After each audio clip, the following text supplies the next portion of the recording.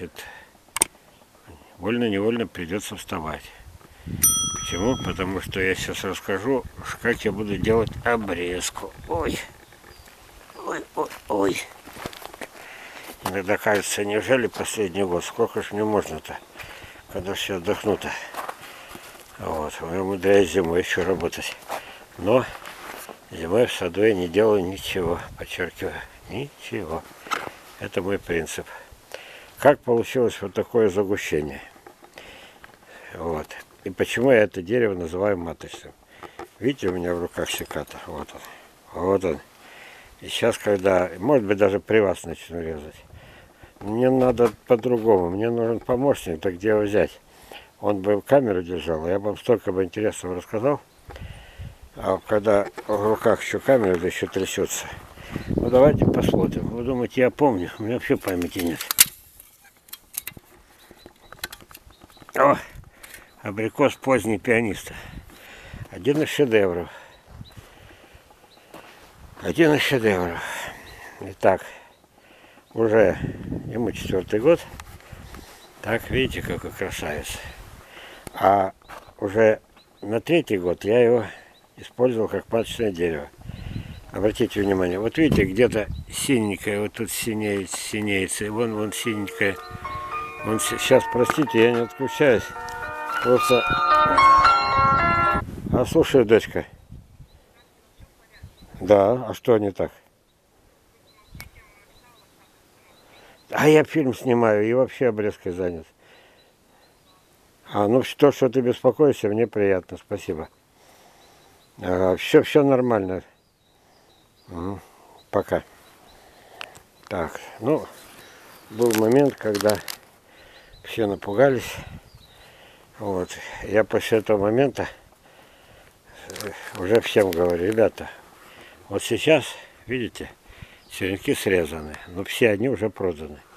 Сейчас я попытаюсь, так как это сорт абсолютно уникален, вот, это принцип такой, одно дерево на всей планете, оно сейчас есть в черемушках у пианиста, а второе дерево вот перед вами. Я не мог вырасти 10, 20, нет ни сил, ни времени, самое страшное, нет места. Посмотрите, с какой густотой растут. У меня впереди проблема. Это абрикос, абрикос, абрикос, там персик, персик, персик.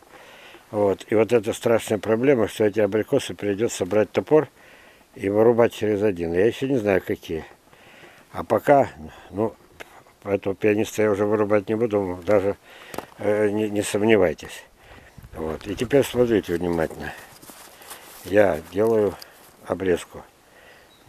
Сейчас. Я уже приглядел. Ага. Я вроде все срезал. И уже этих черенков нету. Но это уникальная вещь. И смотрите, что я буду делать. Во-первых, обрезка называется... Ну, будем считать, что учеба началась. А то все ля-ля-ля, ля-ля-ля. Обрезка началась. Учеба по обрезке. Значит, если я вот здесь, вот он, я нашел, как-то проглядел, уже давно его не было. Вот, помните, ажиотаж был, небольшой, правда. Вот эта ветка, ну, сантиметров 90, прекрасно. Если я тут отрежу, вот тут, да? Нет, ну, остается несколько почек. На следующий год она даст 2, 3, 4 веточки, но они уже на прививку будут негодны. Я сейчас покажу, какие они будут. Смотрите. Они вот, вот такие. Поэтому я что должен делать? Внимание. Я должен сделать кардинальную обрезку второго двух-трехлетку. То есть, внимание, идем сверху. Итак, эта ветка приглядел. Но, чтобы мне на следующий год была хотя бы одна такая, а лучше несколько таких. Вот, видите, было одна, две всего. Всего две полноценные. Я вот здесь отрезаю, смотрите. Внимание. Отрезал. Жалко без помощника. Вот. Отрезал. Теперь я на прививку забираю всю. Вот отсюда начинаю. То, что от меня справа, это костер. А вот это пойдет вам. Дальше. Вот то, что осталось. Это место будет замазано. Я сейчас просто ради примера Я потом тут же срежу еще несколько веток. Ну, так и быть. Сейчас я... Вот, очень, очень густая мазь. Вот, видите? Вот, это и есть лак мастика долматова. Рекомендую. Вот. Все. Дело в том, что кроме как обычного, ну, то, что она густая, препятствует будет последние морозы, чтобы туда не проникали, чтобы поменьше живой ткани уничтожали. Она еще и антисептик, она еще антибактериальными свойствами обладает. Или септическими, как угодно называйте. Вот это вот. То есть здесь бактериальные болезни исключены благодаря лаку мастики. Ну, пока я кладу на место эту самую. И это как часть учебы. Все. Веточку сюда же, чтобы не потерять. Вот это бесценная веточка. Потом я по-хозяйски постараюсь найти еще. А может уже и нету. Вот. Почему? Видите, как она уже обработана. Ну, тонкие я стараюсь не брать. Вот такие вот не отрезать, обижаются на меня. Но иногда говорят, ну хорошо, давайте тонкую, тогда я высылаю. Делаю вот так, смотрите. Я, я должен все подрядно объяснить. Это мой бизнес, это не шутки. Это будущие сады. Если их не калечить, видели, я говорил, что у меня нет ни одного, ни одной ветки от, от низу не отрезанных, как учат люди, которые я считаю неправильными людьми. Если я уже вынужден вот такой отрезать, я все равно отрежу вот здесь, чтобы хотя бы на следующий год, вот видите, где отрезал, хотя бы на следующий год хоть, опять была хотя бы одна полноценная. Ну, назовем ее условно полноценной. То есть, когда я, вот такая ветка, э, у меня собственные стандарты – это значит, что она не совсем, но когда я кладу две, а считаю как одна, на меня никто не обижается. Вот, дальше смотрите. Рядышком ветка, вот пока ту не, от, это, не отрезал вот эту, я эту даже и не замечал. Смотрим сюда. Вот, смотрите. Вот. Теперь что мы имеем? Вот это пойдет один к одному. А вот таких вот таких, которые поменьше, надо две. Ой, замучаю я вас плохо без оператора работать. Но знаете, друзья, еще меня постоянно находятся люди, которые считают, что я им всем обязан.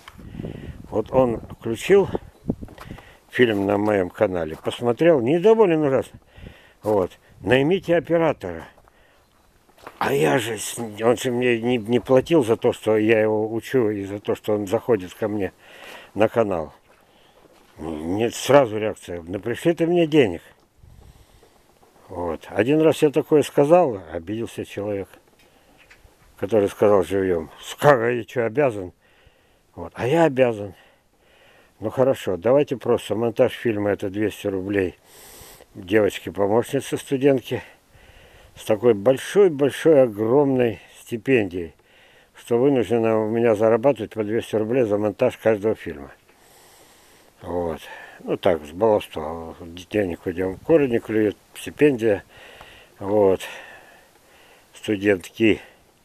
И вот получается, если вы хотите, чтобы фильма было больше, мы делаем тысячами с братом, еще и брат помогает, только более бескорыстно. Вот. И тем не менее получается, что в основном приходится своего кармана все оплачивать. Так что если кто-то поможет, как кто-то скажет, вы знаете, даже то, что узнал, что существует на свете феноменальные сорта, самые маленькие, когда вот покроются плодами, самый маленький будет 100 грамм. А еще не попадет под заморозки, потому что так поздно цветет, и урожай уже в сентябре. Хотя большинство у меня в конце июля, большинство плодоносит. Вот видите, ну что, я не говорю это самое, скиньтесь граждане по копеечке. Дальше как там было?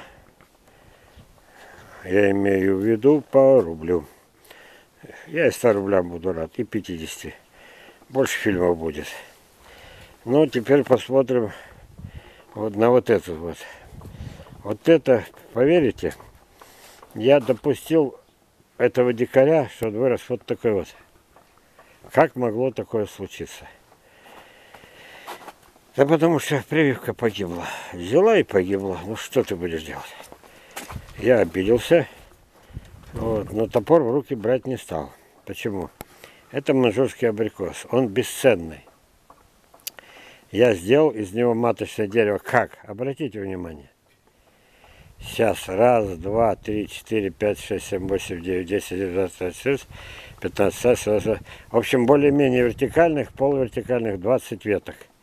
Я могу сделать 20 прививок. Приживается плохо. Видите?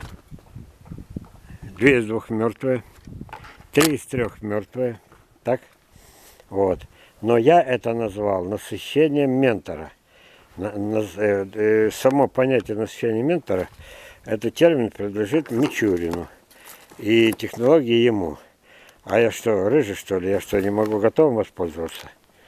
Вот, пока это было насыщение. А у меня есть такая особенность, когда руки чешутся, что есть вещи практически несовместимые. И вот первое поколение, три из трех мертвых. Я сейчас не буду смотреть, какой там сорт. Хотя хотелось бы, там же бирки должны были сохраниться. Вот, сейчас. А, ну все ясно. У меня получилось следующее. Бирок нет. Я вам так скажу, что это такое. Сейчас отломлю. Знаете, что это такое и почему не пошло? Это венгерка, вот она. Видите? Вот, венгерка. Вторая. Раз бирок нет, еще уделяться, смотрите. Венгерка. И к чему я говорю это? И слабо, слабо, слабо. И наверняка она уже мертвая. Нет, да, мертвая уже наверняка. Это третья и последняя. И тоже венгерка. Итак, венгерка на абрикосе не пошла. Не пошла, не пошла. И что я буду делать? Я снова привью венгерку. И постепенно я приучу. Почему именно венгерку и почему именно на абрикосе? Я хочу сделать гибрид сливого абрикосового. Это называется ну, как баловство. Хобби, хобби, да. Вот. Сейчас я, чтобы мне... Ага, сколько там осталось.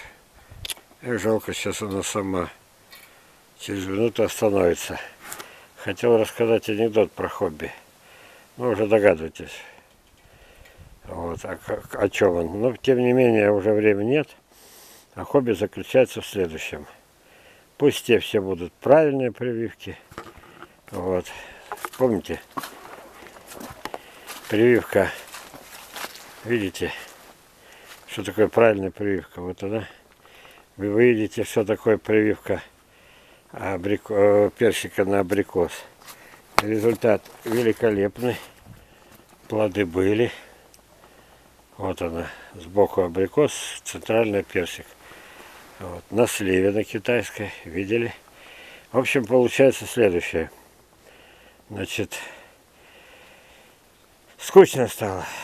Попробую заниматься вегетативными гибридами. Ну, на этом, вернее не так, еще попробую заниматься вегетативными гибридами. В данном случае межвидовыми. Никогда так далеко э, не пасть не раздевал. Кстати, вот еще один персик. Ну, я вижу, что он живой. Никто его не укрывал. Вот.